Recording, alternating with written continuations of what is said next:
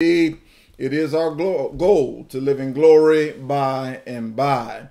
Amen. The, the time that we live in this life uh, is but for a moment. Uh, man born of woman, Job said, is a few days and full of trouble. We shan't be here long. And so it is incumbent upon us to make preparations for our final destination. And it is our prayer that your desire for that final destination will be in home uh, will be in heaven in glory uh, by and by. We pray and we thank uh, our visiting uh, friends for being with us on this morning. And we pray that your goal uh, is to make heaven your eternal home. One of the great revelations of the Bible is that many will be many more will be lost than will be saved. And so it is our petition and our prayer uh, that you will seek the Lord while he may still be found uh, on this morning and welcome to the services of the Church of Christ in Goose Creek. Amen. On this morning, we want to examine, if you will, the book of Genesis, Genesis chapter number 18. We want to look particularly at verse number 20 through 25. Genesis chapter number 18, verse 20 through 25. Amen. Uh, listen to the reading of the Word of God. Listen to your Bible. And the Lord said, Because the outcry against Sodom and Gomorrah is great, because their sin is very grave, I will go down now and see whether they have done altogether according to the outcry against it that has come to me, and if not, I will know. Then the men turned away from there and went toward Sodom, but Abraham stood still before the Lord. And Abraham uh, came near and said, Would you also destroy uh, the righteous with uh, the wicked. Suppose there were 50 righteous within the city. Would you also destroy the place and not spare it for 50 righteous that were in it? Verse number 25. Far be it from you, uh, for, from you to do such a thing as this, to slay the righteous with the wicked, so that the righteous should be as the wicked. Far be it from you. Shall the judge of all the earth do right. Let all those who believe and agree, uh, amen, to the reading of the word, say amen wherever you may be. Uh, amen. On this morning, I'd like for us to consider for a subject uh, the advocate, the judge, and justice. The advocate, the judge, and justice. Uh, back in 1995, I came across an account where uh, an individual by the name of Bobby Bostic uh, he got incarcerated for carjacking uh, and armed robbery. There were some good Samaritans in the inner city, and they were uh, passing out food and bringing supplies to those who were living in uh, subpar uh, places, stand substandard living. And uh, Bobby Bostic and another individual decided that they would rob them and uh, they had a gun, and the gun went off and it grazed an individual. Didn't kill no one, uh, amen. And nevertheless, uh, amen, uh, they took off from there and they uh, carjacked uh, another couple, took their vehicle. Well, Bobby Bostic and his accomplice were caught by the police. and when the day of their trial came, or Bobby Bostic in particular, um, he was sentenced to 241 years. Uh, and the account lets us know, the uh, report lets us know that when the judge looked at Bobby Bostic, who was 16 years old at the time, uh, female judge, she saw an individual that did not appear to have any redeeming qualities whatsoever. She had the choice to allow his uh, sentence to run either concurrently or consecutively. And so there were 17 charges that were brought up against Bobby Bostic. Uh, and so instead of allowing the charges to run concurrently, uh, simultaneously, um, she gave him 241 years uh, consecutively for each charge that added up. and so as I looked at this uh, particular account, uh, Bobby Bostic's been in prison for over 20 plus years, almost 30 some odd years, and it is a great travesty of justice. Uh, and so while he is incarcerated and have been incarcerated, uh, he has grown up in prison. He has changed his life. He has gotten his diploma. He has gotten his college uh, degree. He has written 15 books. He is a role model in uh, the prison penitentiary, and he's holding on to hope that one day he can be set free. What's interesting about this account is that the very same judge that gave him 241 years, now retired, is his main advocate uh, for release. And this judge have apologized and looked at the sentence and uh, certainly come to terms with the fact that her sentence for this individual amounts to cruel and unusual punishment. And so they petitioned the Supreme Court and they're working through the judicial court, judicial system to reverse the charges uh, that Bobby might be set free. But what was interesting to me is how the judge initially saw Bobby, this uh, teenager, this young uh, boy, as one who had no redeeming qualities whatsoever. Uh, I want us to uh, recognize that even among uh, the worst of us, there is good in all of us. And that's one of the things that we have to understand. It doesn't matter your past and, and your present. I want us to understand they're not necessarily the requisite for your future in Christ. Amen. We can turn our life around in Christ. Uh, we can be better than we have been. And, and so when I thought about this judge and this uh, unjust judgment given, uh, amen, a teenager 241 years. This judge uh, recognized uh, over the period of time, she says that her understanding has uh, evolved and she recognizes that the brain uh, of a ten, of a teenager versus uh, amen an adult is different uh, and so she is very much remorseful and so when i thought about this judge and the travesty of uh, justice cruel and unusual punishment i thought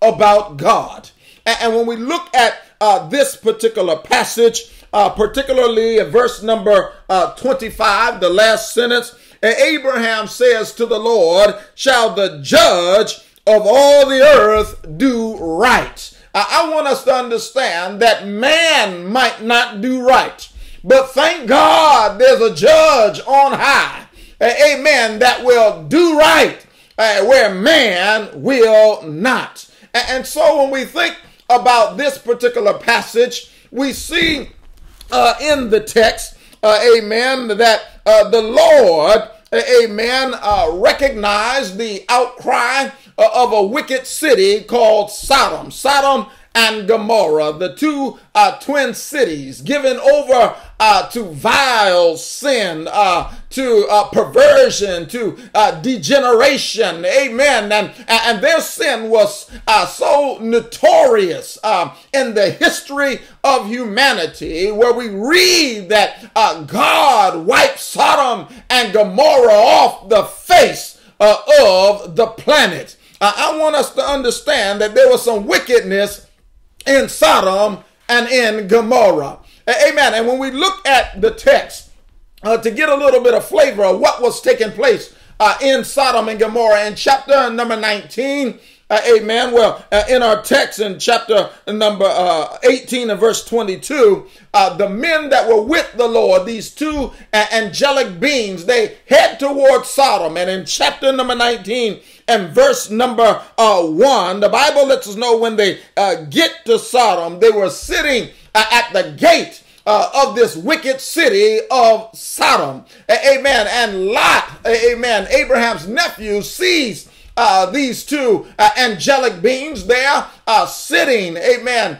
uh, amen, in at the gate of Sodom. And, and he bid that they would come uh, and stay with him. They wanted to stay in the open square, but uh, Lot was insistent that they not stay in the open square in that wicked city.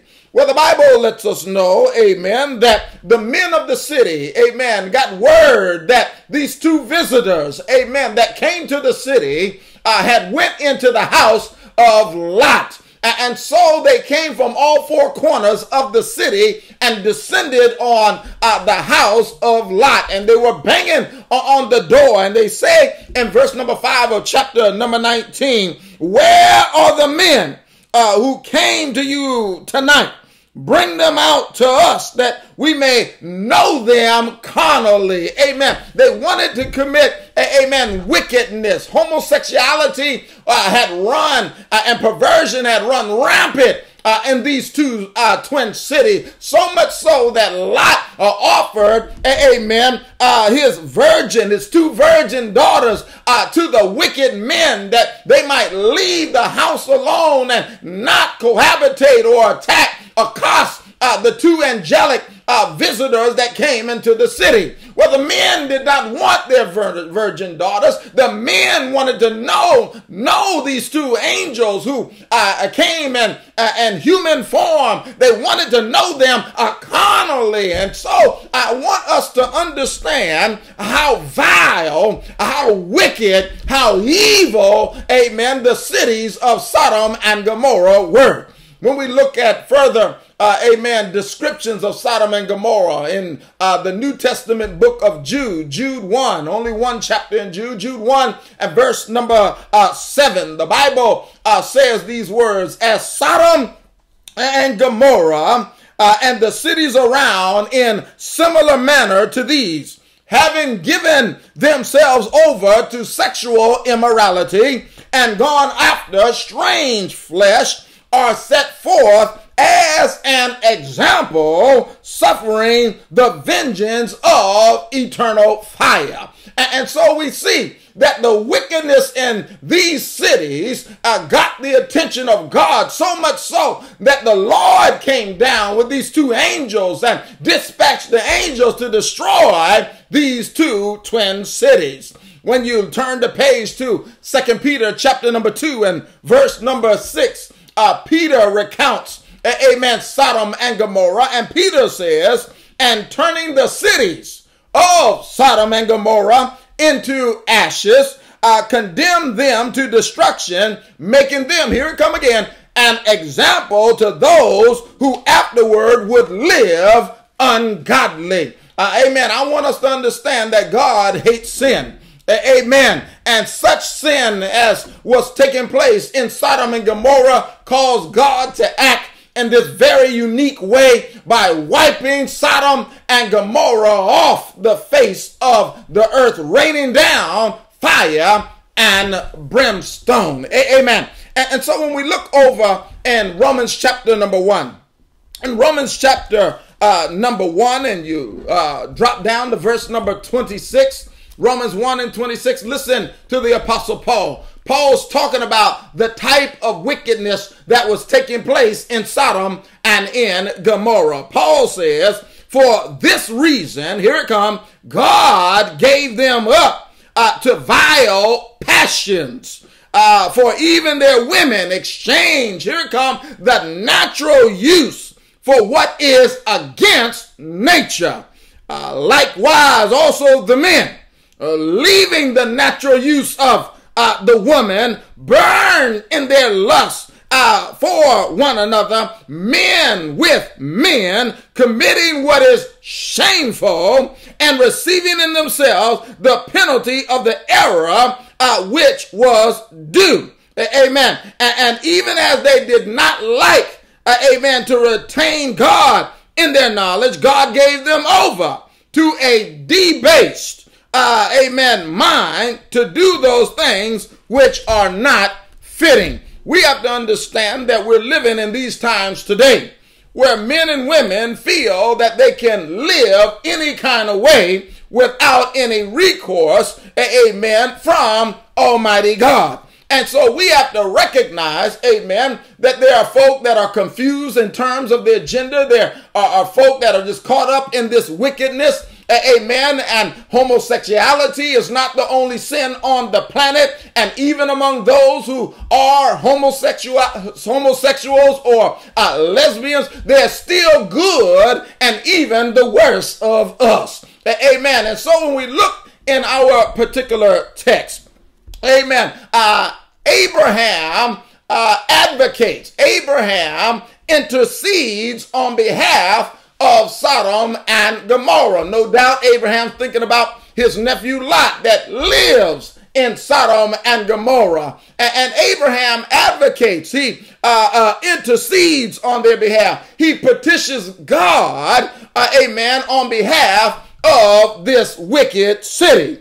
And so Abraham says in, uh, amen, verse number uh, 23, uh, would you destroy the righteous with the wicked? A- amen. And, and so Abraham was very much concerned amen, that, uh, amen, that there's a lot of uh, wicked folk, but there are also some good folk among the wicked folk in that then uh, city. Uh, much like today, there are still some good folk, amen, in this wicked world. I want us to recognize that, amen, God is a just God. Amen. And even at our worst, God still loves us it recalls to my attention uh, Psalm 8 and verse number 4, where David uh, asked the question, uh, Amen. Uh, he says, What is man uh, that you are mindful of him? Uh, and the Son of Man that you visit him. That word visit, translation word visit, means give attention uh, to or care for. In other words, David is saying, man after God's own heart, what is man that you are even concerned with our wretchedness? Amen. He says in verse 5 of uh, Psalm 8, he says, You have made him a little lower than the angels. You have crowned him with glory and honor. You have uh, made him to have dominion over the works of your hands. You have put all things under his feet. Verse number nine, Oh Lord, our Lord, how excellent is thy name in all the earth. And so we have to recognize that God loves man. Even at our worst, God is still at his best. When you look at Psalm 7 and verse uh, number 11, amen. Uh, David said, God is a just judge. Amen. Amen. And God is angry with the wicked every day. Verse 12 If he does not turn back, he that is God will sharpen his sword. Uh, he bends his bow and makes it ready. He prepares for himself instruments of death. He makes his arrows into fiery shaft. I want us to understand that just because God is long suffering with man does not mean that God, amen, will overlook sin. And, so we have to come to terms with the fact that God loves us. Uh, amen. He loved the sinner, but he hates the sin. And so when I think about uh, uh, Abraham interceding on behalf of the land, you got some righteous among the wicked. Amen. I want us to know that uh, today, in particular, in regard to the child of God, Jesus is our advocate. Over there in First John chapter number 2 and verse number one, First John 2 and 1. John says, My little children, these things I write to you so that you may not sin. And if anyone sins, we have an advocate uh, with the Father, Jesus uh, the righteous. Aren't you glad? Amen. That uh, we have an advocate, uh, Jesus the Christ. Amen. That uh, is uh, amen, the go between between humanity and, and divinity uh, to advocate, to intercede in our stead. In Romans chapter number 8 and verse number uh, 34, uh, Paul says, Who is he who condemns?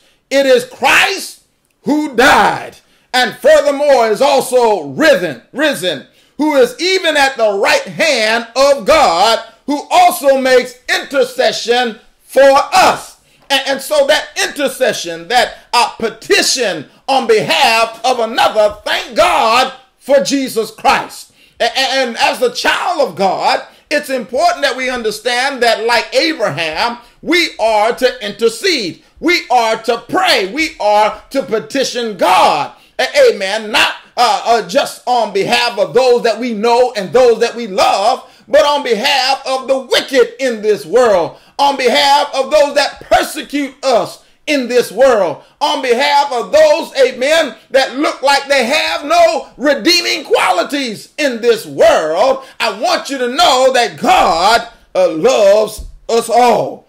And, and, so when I think uh, about one that acts as Abraham interceding on behalf of a wicked city given over to immorality, it reminds me of Jesus himself who not only makes intercession for us to the Father, but also made intercession on behalf of Peter uh, that fateful night. Uh, before uh, they went down to the Garden of Gethsemane, the uh, Mount of Olives, in Luke chapter number 22. In Luke chapter 22 and verse number 31, I want us to notice, amen, that uh, Jesus was an advocate making intercession uh, on behalf of Peter in particular.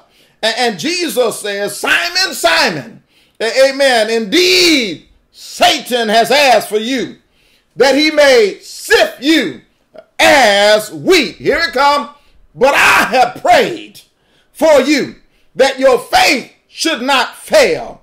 And when you have returned to me, strengthen your brethren. Aren't you glad that there's somebody that can pray on your behalf? Aren't you glad that Jesus makes intercession on our behalf? He's an advocate, even though we are guilty of our sin. It, recalls to my attention Moses and how uh, leading up to the great deliverance of the children of Israel from Egyptian bondage in the midst of the plagues, particularly the fourth plague, uh, where Pharaoh petitions Moses to intercede on his behalf. Pharaoh, amen, that refused to let God's people go, had the audacity to ask Moses to pray for him. In Exodus chapter number 8 and verse number 27, uh, I want us to see, amen, how Moses, uh, amen, uh, interceded on behalf of Pharaoh. Uh, the Bible says, will we uh, we will go three days. Listen to Moses. Uh, journey into the wilderness and sacrifice to the Lord our God as he will command us. Verse 28 So Pharaoh says, I will let you go that you may sacrifice to the Lord your God in the wilderness. Only, only you shall not go very far away. Then he says, intercede for me. You know, old wicked Pharaoh, all he wanted was the flies to go away. And, and there's some wicked folk today who get themselves in such a mess that they want you to pray. Not that they will change their life, but that their conditions might change. Amen. Nevertheless, as children of God, we need to pray uh, for this wicked world. And I want us to always remember that even among the worst of us, there's some good in all of us. When I think about those that are not spoken of highly in the Holy Writ of God's Word, it reminds me of the harlot, the tax collector, and the Samaritan. The harlot, the tax collector, and the Samaritan. In Luke chapter number 7, if you are familiar, verse number 36 and following, the Bible lets us know that Jesus was invited to the house of a Pharisee and they sat down to eat. Verse 37 And behold, a woman in the city who was a sinner, when she knew that Jesus had sat at the table at the Pharisee's house, brought an alabaster flask of fragrant oil. Well, the account lets us know that uh, she was weeping behind Jesus' feet uh, amen. And she, uh, amen, anointed uh, his feet and uh, and her tears and and wiped his feet with uh, uh, her hair and amen and and, and amen and washed the feet with her tears. We have a woman who's described in Scripture as only a sinner. And the host, amen, that invites Jenna, Jesus to this dinner says within himself, if uh, this man or Jesus were a prophet, uh, he would know who this is who is touching him. Most theologians and scholars surmise that this woman, who's only identified as a sinner, was a harlot in the city. No doubt she was uh, weighed down and grievous. Amen. As as it relates to her life, uh, perhaps you don't know her story, and that's another thing we got to recognize. We don't know one another's story. We don't know what someone have had to go through. And so here's this woman uh, laden down and burdened down with sins who takes, amen, uh, her burdens to the Lord. Didn't Jesus say, Come to me, all ye that labor and are heavy laden, and I'll give you rest? A- amen. And so she brings her burdens uh, to the Lord. And Jesus says to, Silent, to Simon, He says that, that when I came to your house, uh, you gave me no water for my feet when I came to your house. You did not anoint my head with water, uh, with, with, with oil like this woman. Uh, when I came to your house, uh, you didn't even give me the, the greeting of a kiss, and this woman has not ceased uh, to kiss uh, my feet. And Jesus said, This woman uh, whose sins are many are forgiven. I want us to recognize that many folk who are, amen, in a sinful situation, uh, amen, a perilous condition, and, and in terms of their uh, sinful lifestyle, amen, are, are many people who have uh, good all up in them. Amen. This woman was burdened. She comes to Jesus, and Jesus forgives her sin. Amen. And so I want us to recognize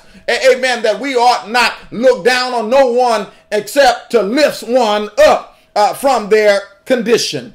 When you look over there in Luke chapter number 19, uh, Jews, amen, had a problem with the tax collectors, particularly of their own nation because the tax collectors in biblical days would often exact taxes more than you owed. And they were able to do that working for the Roman government uh, who was no friend of the Jews against the Jews, and you're a Jew collecting taxes, and you're taking more than you should. And so tax collectors were despised uh, among the people. But in Luke 19, verse number 1 and following, many of you should be familiar with this account. The Bible lets us know that Jesus entered and passed through the city of Jericho. And behold, there was a man uh, named Zacchaeus, who was a chief tax collector and was rich. So he wasn't just a tax collector, he was a chief tax collector and was rich. So no doubt he had no love from his own people. But he heard that Jesus was coming in town. And, and so he uh, climbs up, amen, uh, a, a sycamore tree. Amen. Amen. And, and, and, this man wanted to see Jesus. When Jesus came uh, his way, Jesus looks up and sees uh, Zacchaeus, this rich tax collector, and says that I'm going to stay with you, uh, amen, tonight. Amen, uh, to the chagrin of those around him. And I could see them rolling uh, their eyes saying, Oh, he has gone to stay with a, a tax collector. And, and Jesus uh, lets them know, amen, that he have come for the sick. He have come for uh, sinners. And, and, and Zacchaeus says that I give half my goods to the poor. Zacchaeus said, and if I have defrauded anyone, I, I restore four, four, fourfold. And so he had a penitent heart. Uh, he wanted, uh, amen, uh, amen, to uh, see Jesus. He wanted to be in fellowship with the Lord. He wanted to do the right thing. He was a chief tax collector, not thought of in a positive sense, amen. But in the text, we can see the heart of this man who was not thought of much by the populace. And finally, there's the Samaritan. The Samaritan. Jews and uh, Samaritans had no dealings. Amen. Uh, the Jewish nation saw uh, Samaritans as dogs. I'm trying to describe to us folk that many folk don't think much of, but I want us to know that God still loves them. God went to Zacchaeus' home. Uh, God and Jesus Christ uh, forgave the harlot of all the sins that have been laden her down. But when you look at Luke 17 and verse number 12 and following, the Bible lets us know that Jesus enters a certain village and there he meets 10 men who have leprosy. They lift up their voices and they say, Jesus, uh, Master, have mercy on us. When Jesus saw them, he says, Go show yourselves to the priests. And the Bible lets us know that while they were on their way, they were cured from this incurable physical disease called leprosy. And one out of the ten, after realizing that he had been cured, he comes back to Jesus. And when he comes back to Jesus, uh, with a loud voice, he glorifies God with his face down to the feet of Jesus, giving thanks. And the Bible says, and he was a Samaritan. And so I want us to understand that even among the so called worst of us, God loves all of us. And so when we think about uh, Abraham in our text, advocating on behalf of these wicked cities, Sodom and Gomorrah, he says, Will you destroy the righteous along with the wicked? He starts at 50. Will you spare the city for 50? What about 45? What about 30? What about 20? What about 10? And God working with Abraham, God who's a long suffering God, God who's a patient God, God, amen, who loves us in spite of us, said, I will not destroy the city for 10. Well, you know the story. They couldn't find 10. And as a result, uh, Lot, uh, his two daughters, and his wife were the only ones that left out of Sodom and Gomorrah, led by the, the angels that came to visit the city. Uh, amen. And God rained down fire and brimstone and wiped out this wicked, immoral, perverted, degenerate, uh, amen, uh, land in which the wicked dwelled. Uh, amen. Lot's wife looked back and turned into a pillar of salt. But let's look at the judge. I want us to know that when we think about the judge, uh, the inference is that the judge will render a judgment uh, in concert with justice. And I want us to understand that we serve a just God. Where man falls short, there's a God that's just. And on the one hand, that's a good thing. And on the other hand, I want to admonish us to be mindful that God's not only a just God, amen, a merciful God, but he's a just God. And one thing you don't want is the justice of God, although he's a just God. In Deuteronomy chapter number 32, in Deuteronomy chapter 32 and verse number 4, uh, listen to your Bible. The Bible said, He is the rock. Amen. His work is perfect. God's a rock. His work is perfect. For all his ways are justice, a God of truth and without injustice. Righteous and upright is he. It's good to know that where man will fail, God is a just God. Amen. And so when God renders a verdict, you need to know, amen, that it's a just verdict. When I think about Moses, and Moses needed some help uh, amen, uh, with the people, uh, two plus million people of the children of Israel. And Moses could not, amen, uh, manage everybody himself alone. And so he appointed judges. In Deuteronomy chapter number 1 and verse number 16, uh, Moses is writing to the second generation of the children of Israel. And he's recounting an episode where his father in law, Jethro, admonishes him to, amen, appoint judges that can help him uh, manage the people in terms of uh, uh, interceding and, uh, amen, uh, giving just cause to the affairs of God's people. Moses says in Deuteronomy 1 and 16, Then I commanded your judges, he's reminding the people, at that time saying, Hear the cases between your brethren and judge how so righteously between a man and his brother or the stranger who is uh, with him. Amen. And verse 17, he says, uh, show no partiality. And so a judge is not to show partiality. Amen. And so when we think about God and you compare the just God that he is to man, Jesus was teaching in Luke chapter number 18 that we should always pray and not lose heart. And he tells a story about an unjust judge. And he says in Luke 18 and 2, there was in a certain city a judge who did not fear God nor regard man. He said there was a widow in the city that said, Get justice for me from my adversary. He says that the judge would not for a while. Amen. But the widow continued to trouble him and continued to bring her case before the unjust judge. And the judge thought in himself that, amen, I better do something lest this woman wear me out or weary me. And then the Bible lets us know in uh, verse number six, Jesus said, Did you hear what the unjust judge said?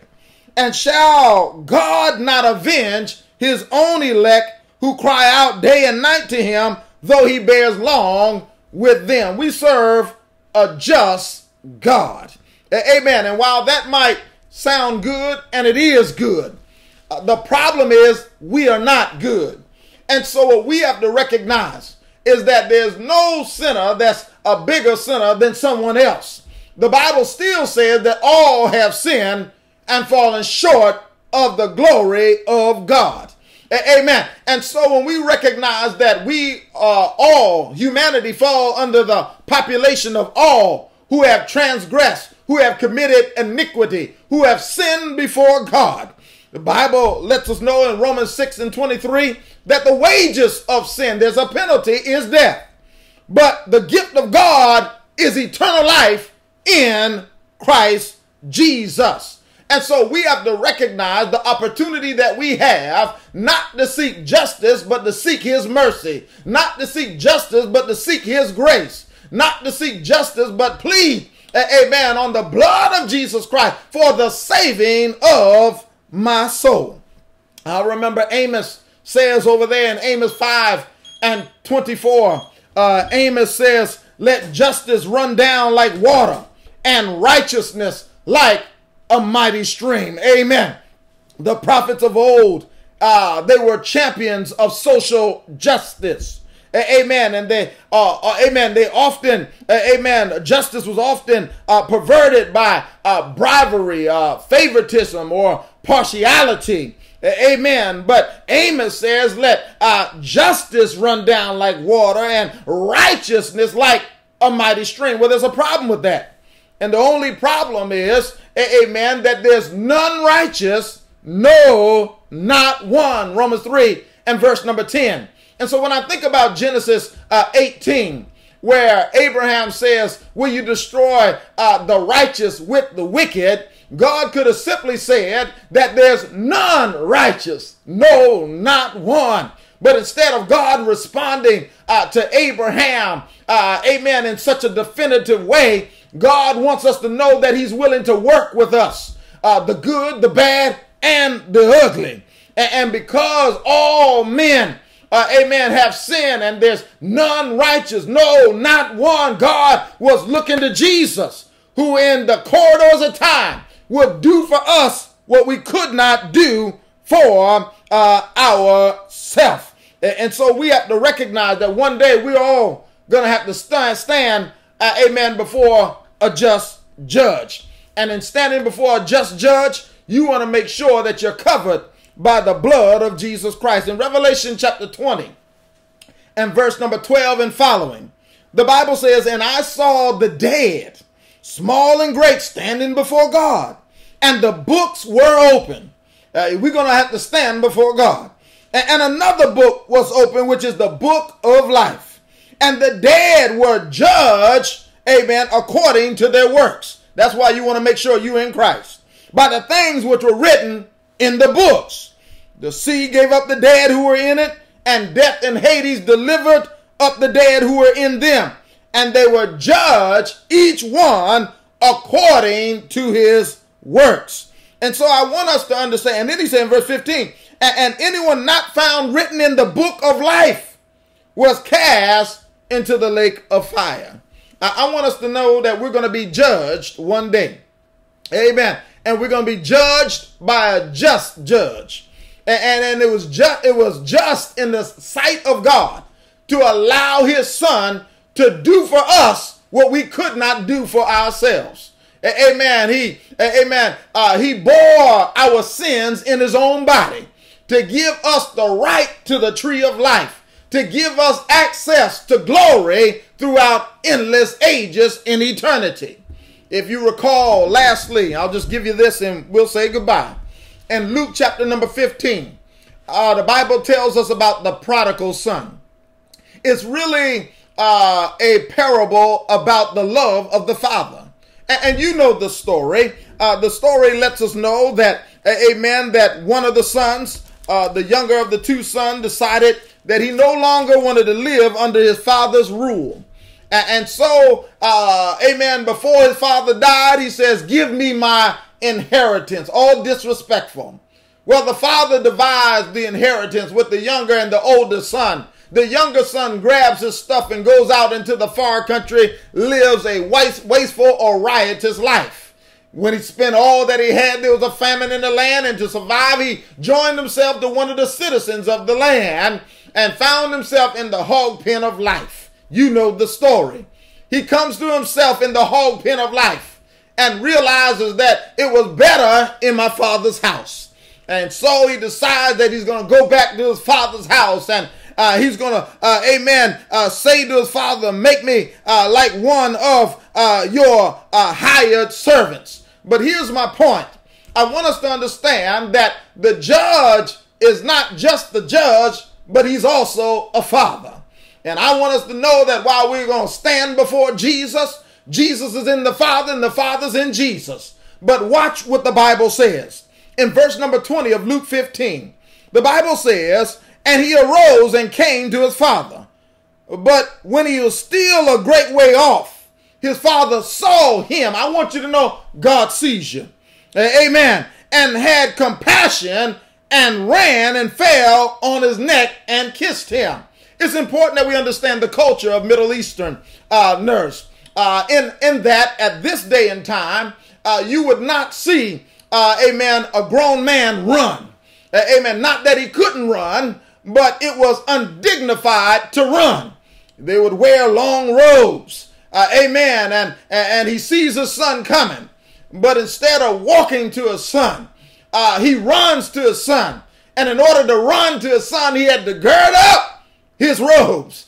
And in girding up his robes, he had to show his legs. Uh, amen. Which was, uh, amen, uh, disrespectful. Uh, amen. But the father had love for the son. Uh, amen. And he uh, girds up his loins and runs to his son while he's still yet afar off.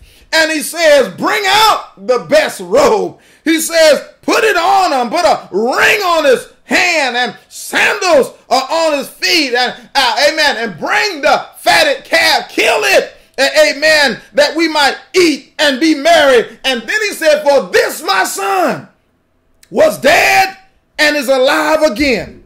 He was lost and is found. And they begin to make merry. I want us to understand that god in his infinite love was willing amen to take on our shame that we might have a relationship with him. In Hebrews chapter number 12, amen, the Bible lets us know in verse number 2, verse number 1, therefore we also, since we are surrounded by so great a cloud of witnesses, let us lay aside every weight and the sin which so easily ensnares us. And let us here come run with endurance the race that is set before us Looking unto who? Jesus, the author and the finisher of our faith. Here it comes. Who for the joy. Amen. Watch it now. Here's, here's God. Who for the joy that was set before him uh, endured the cross, despising the shame, and has sat down at the right hand of the throne of God. I want you to know that God had no problem amen, uh, exposing himself to the world when Jesus was up on the cross, he was naked on that cross. Uh, the shame before the world, insulted before the world, uh, stretched out wide and hung up high. Amen. And they scourged him before the world. He was willing because of his love for us to despise the shame. Uh, amen. Endured the cross. Amen. And now has sat down at the right hand of the throne of God. God was willing to take on the shame of our sin that we might have a relationship with him that the worst of us might put away our sin that we might, amen, accept Christ on his turn. If you are with us on this morning and you are distant from God, I don't care what you have done, the blood of Jesus Christ is able to cleanse your today's sin, your yesterday's sin, and even your tomorrow's sin.